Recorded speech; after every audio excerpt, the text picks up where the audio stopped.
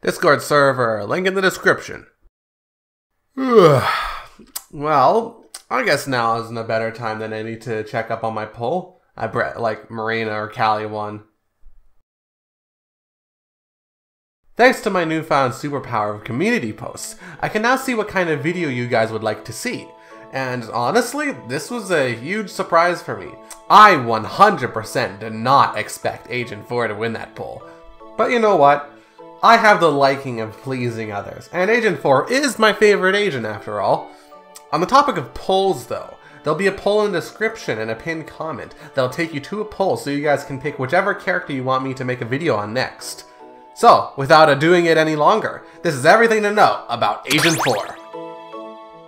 So, starting us off, Agent 4 is a 14 to 18 year old Inkling who comes from somewhere close to Inkopolis.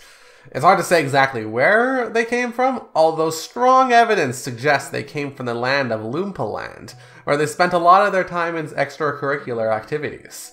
In fact, they were so absorbed in whatever they did in Loompaland that they never even heard of Callie and Marie, who, at the time, were making their names known basically everywhere.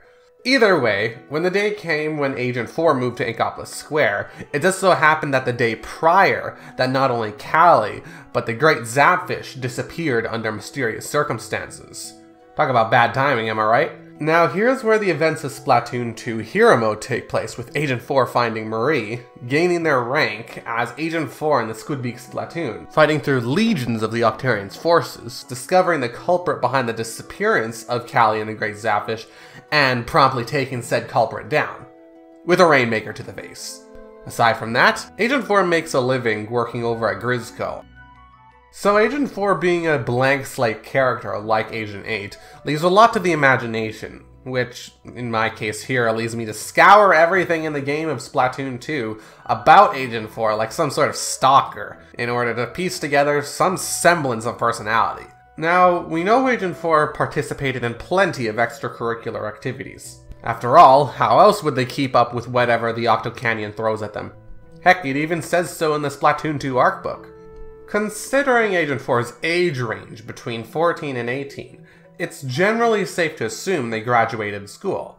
Uh, who knows, Inklings do gain the ability to change between humanoid and squid forms freely at the age of 14, so maybe that's the age of maturity for Inklings.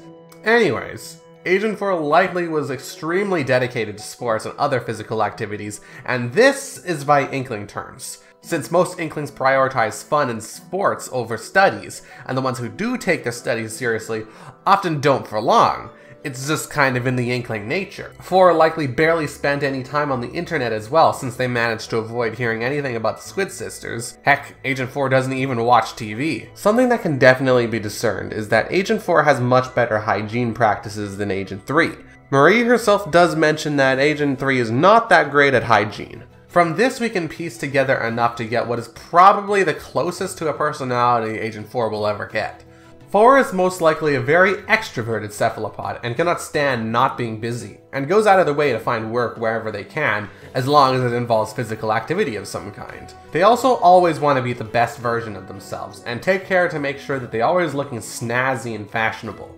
Funnily enough, this is not far off from a lot of the community who uses Agent 4's personality. It really goes to show how well Nintendo is able to express their characters despite some of them not even saying a word. Now, personally, I believe Agent 4 to be the most mysterious of the agents. M minus, of course, the elusive Agent 7, though.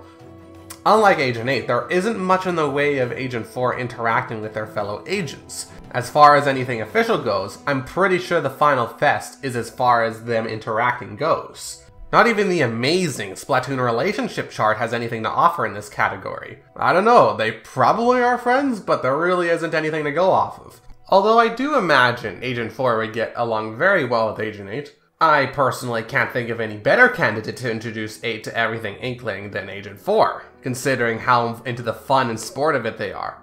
Now, I'm all sure you want me to go into Four's very one-sided chats where they have with Marie. It's a well-known fact that Marie thinks that Agent 4, in the words of Marie herself, is adorable. You can interpret that in whichever way you want. And we can see Callie acting fully like herself with 4 around. I like to think that 4 does sometimes treat Callie and Marie to the crust bucket every now and then with the money they make from Grizzco. Agent 4 Trivia Ahoy! Marie mentions that Agent 4's hero suit is a hand-me-down, but never said who originally owned it. In the Splatoon 2 handbook, it mentions that the hero suit was actually previously owned by Callie. Now regarding Agent 4's age, the whole time I've been calling 4 between the ages of 14 and 18, which admittedly is a pretty big gap. The reason why is because Marie mentions that 4 is 2 years older than Agent 3, who at the release of Splatoon 2 was 16. The answer seems very cut and dry. There's the answer right there, right? Problems start though when you look at the dialogue in the Japanese version in the game and notice that Marie doesn't say a word about Agent 4's age. Personally, I like to think that Agent 4 is 14, and Marie just assumes 4's age without asking first, because that's kind of funny to me. That's definitely something Marie would do. While you, as the player, can pick Agent 4's gender, 4 is the only agent that has been depicted as a girl more often than not in official art. There's very little art showing 4 as a boy, most notably a small segment in the credits showing Agent 4 as a boy but those same credits also show 4 as a girl. This is a pretty far cry from Agent 3 and 8, who are both depicted as a boy and girl across several pieces of art equally. Maybe female is Agent 4's canon gender? Probably not to be honest, but hey, it's trivia, am I right? And with that, I think that is pretty much everything there is to know about Agent 4.